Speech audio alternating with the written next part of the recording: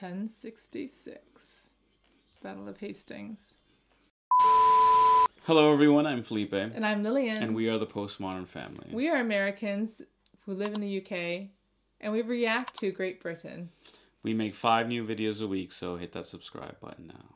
Today we're going to react to a documentary explaining the monarchs of England, starting with in 1066 William the Conqueror of Normandy.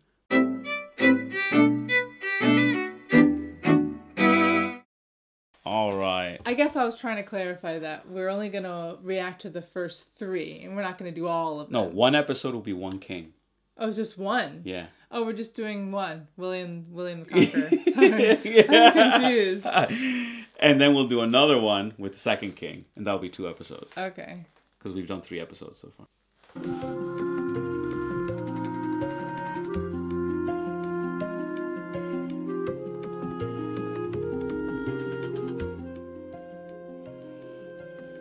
The story of the kings and queens of England is more surprising than you might think.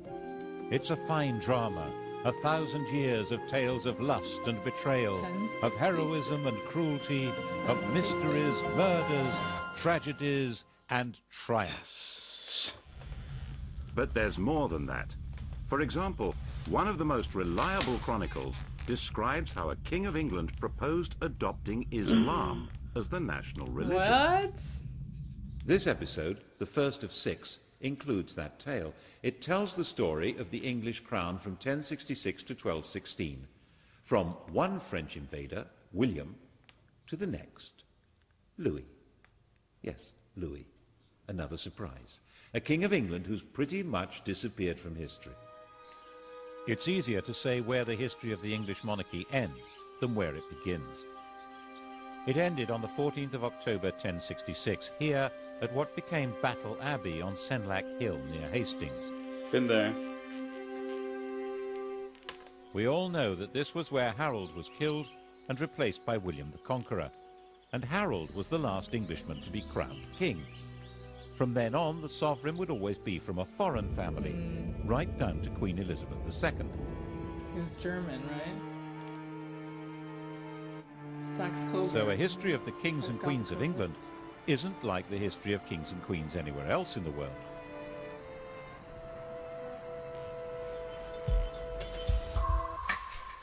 What happened here on that October day started a completely new history, which is why it's the one date in history that everybody knows, Is it? Mm-hmm. 1066.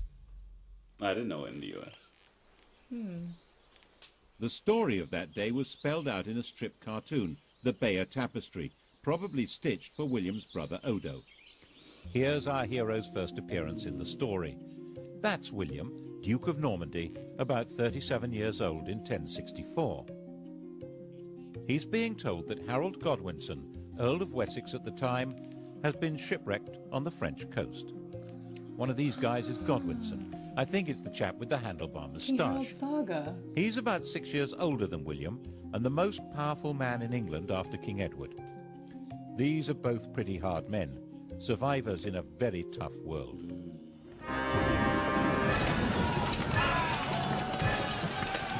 William spent his whole life fighting for survival and was good at it. By the time he was 20, he'd established complete control over Normandy. From then on, he was fighting to hang on to what he had. He got Harold to help him in one of those battles, capturing Mont Saint Michel. And then, apparently as That the might- price of letting him Michael's go home, had Harold swear to support That's him in in becoming the next France. King of England, which, as the tapestry very clearly shows, is not what happened.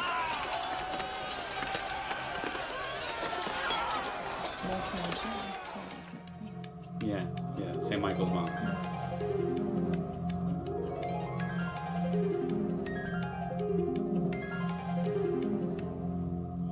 When old King Edward died, Harold, as we all know, had himself crowned instead.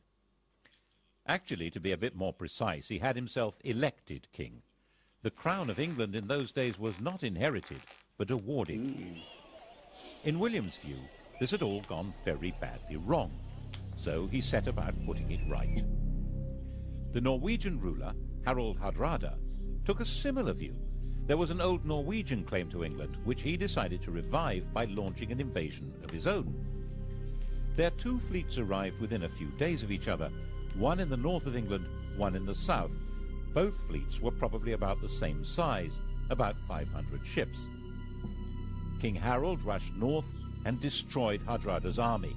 Only about 34 ships made it back to Norway. Then he rushed south. Oh and this time, of course, he failed to pull it off. We don't know for sure that the man with the arrow in his eye is Harold, but he certainly died at the battle. He and his axe-wielding, spear-carrying army of Danish and Anglo-Saxon noblemen were simply swept away. In their place were the new rulers of England, Normans on horseback. And William was their master, master of the country. He owned it.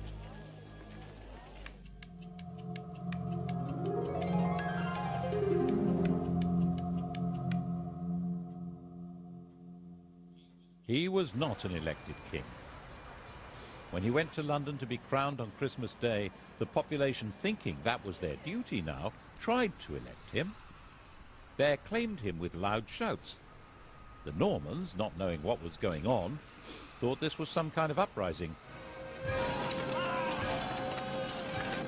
They rushed out of Westminster Abbey and burned London down. England had become a new kind of kingdom, one which was owned lock, stock and barrel by its king. The story we're telling through this series, the story of a thousand years of English history, is the story of this alien conqueror and his successors to the throne. It's the story of how they changed England and changed with it, eventually turning into puppet rulers, symbols of power they cannot wield.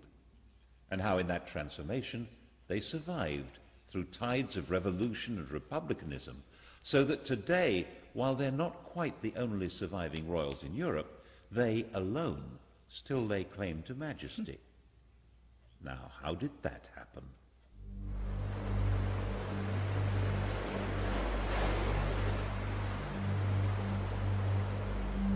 The story of William's reign is really the story of a warrior lord taking all power into his hands. He confiscated all the privately owned land in the country. Its new occupiers were tenants of the king, bound to him.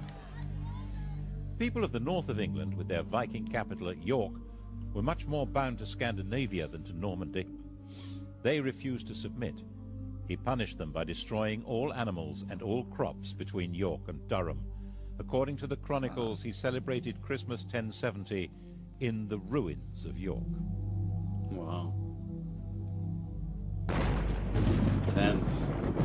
The inhabitants were reduced to starvation, even cannibalism. Sixteen years later, when all the land in England was accounted for and valued in his Domesday survey, there were places in Northumbria that were still utterly worthless. The church, too, was made Norman, and old Anglo-Saxon ways crushed. At Glastonbury, archers were stationed inside the abbey, and orders given that the old chants should be replaced by new ones from France. Twenty-one monks were shot. And yet there were limits to his power. A few thousand Normans, most of them not even understanding the language of their new country, couldn't run the place. They needed the English to keep everything working, and William understood that perfectly well. His coronation, he made an oath to uphold the laws of King Edward, to uphold good law and renounce bad. The old courts would continue to function, and old traditions would normally be respected. This oath would become fundamental to the coronation of any king. The question, though, would be who got to wear the crown? When William died, bloated and exhausted at the ripe age of 60, his attendants stripped his body and scattered. What mattered now was who would hold the land he'd conquered, and how. It had all been his, and it was he who'd decided. On his deathbed in Normandy, he handed out the spoils. He gave his eldest surviving son, Robert, his duchy of Normandy, but it was the younger son, the red-haired William, William Rufus, who the conqueror willed should be acclaimed King of England. And the youngest, Henry, was told he would have to be content with £5,000. but Henry was his father's son. Content with £5,000? was that likely? Okay, so that's the end of the first one. Yeah. Cool. So, So, what'd you think? Yeah, I just thought that um, I always wondered about this. Why we start memorizing like in in classical conversations, our homeschool Mm-hmm. thing. Why do we start memorizing From William. from William the Conqueror Mm. when there's a whole line of, of English kings before Mm. then? yeah, Anglo-Saxon. kings, Yeah. So uh, I don't know. I thought that was interesting. But yeah, he came and basically conquered. He's the He's conqueror, yeah. conqueror. Yeah. I didn't know that he ravaged the north that way. That's Mm. new to hmm. me that they resorted to cannibalism. I don't know if that's an exaggeration, but I don't know. yeah. But one thing people, I used to get confused at least. When I envisage William the Conqueror, I envisage what I see as a Frenchman today. But mm-hmm. they're not. Mm-hmm. They are Viking Frenchmen, mm-hmm. tall, etc. Um, they're not the short Frenchmen that we recognize. Oh yeah. I thought So- of him as more like a Viking. I didn't. I thought, oh, it was a French conquest. And I thought, oh, mon ami. I thought of Napoleon and all that, you know. So, um, but I think what's in, what I'm more interested in is what are the still long-standing ramifications of the nearly thousand-year-old conquest for people today, for for Great Britain today. Um, what do you think? Do you think there are any? I don't know. Maybe it's a subdued people because clearly he came in and subdued all the Brit- all the English people were now under Hmm. this Norman rule, and they were like okay with it. I don't know. Well, I mean, before that, you have the Roman conquest for I think it's two, three hundred years. Um, I can't remember. And then the empire falls, and then it's just a smattering of Anglos and Saxons. I guess I'm and- I'm wondering what's what's really what's English? What is what Hmm. is English? If we've been ruled by you know monarchs are from foreign countries for Yeah. the last thousand years. It is strange, isn't it? Um, it's a mongrel like collection of things. I mean, what do they say? They say that is it seventy five percent of English vocabulary is Latin, either hmm. direct or through French, because he brings Fran- French as the language of the court. Mm-hmm. Um, um, and English as we know it today, when does it get its own feet? Is it thought of to be as Shakespeare's when it gets its own legs? I don't know anything about that stuff. Yeah. But I thought that the long-standing ramifications of the conquest were the lands are still to some extent in the possession the possessions or the possession of the hereditary classes that he established.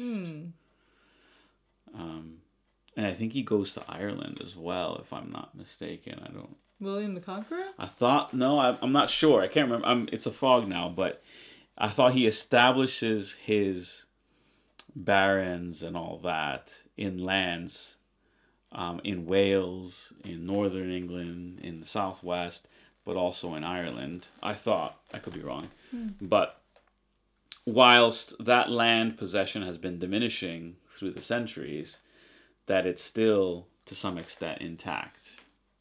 That's what I thought. So that land is such a premium here, um, and the re- the a big reason why the um, noble families here continue to exist It's because of is because of the land and its its rent value.